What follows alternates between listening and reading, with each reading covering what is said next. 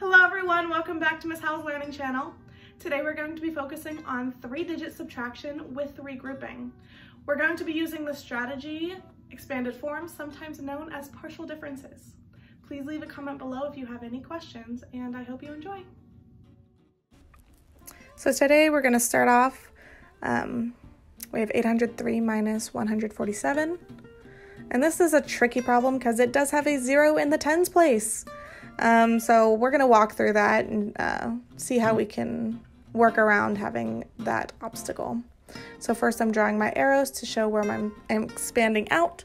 I do have three digits, so I have to make sure that I draw three lines for each digit, my hundreds, tens, and ones place. And of course, making sure I'm adding um, my addition symbols in between because you always use addition symbols when you're expanding out a number, even if you're subtracting those two numbers. I know it's confusing. Um,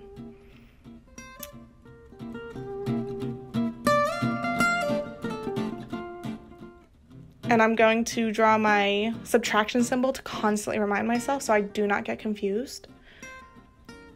Remember, this is a great strategy that once you get it in your, um, once you get it down, you can add and subtract big numbers in your head without having to use a pen and paper like you would with a standard algorithm.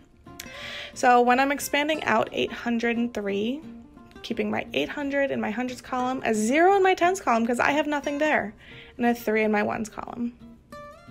And for 147, I am expanding it out uh, with no issues 100 plus 40 plus 7. I'm going to start with my ones column. As you can see, I cannot take 7 away from 3. So I go over to my tens column and uh-oh, there's nothing to take from there too. So I'm going to go over to the next column again. I'm taking 100 away from my hundreds column, leaving seven hundreds. And I'm going to give that 100 to my tens column. So I now have 10 tens or 1 100. Now I have enough to take from my tens column, so I'm going to take a 10 away from my 100. That leaves 90, and I'm going to give that 10 to my 3. That's going to leave 13. Now with all of my numbers on top bigger than my numbers on the bottom, I am ready to subtract. So I see I have 13, take away 7. That's going to leave me with six ones.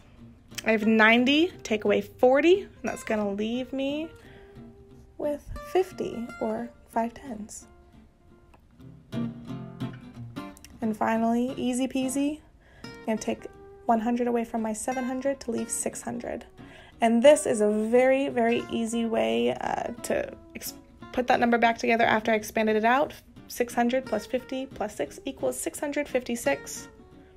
Not as complicated or scary as it seems.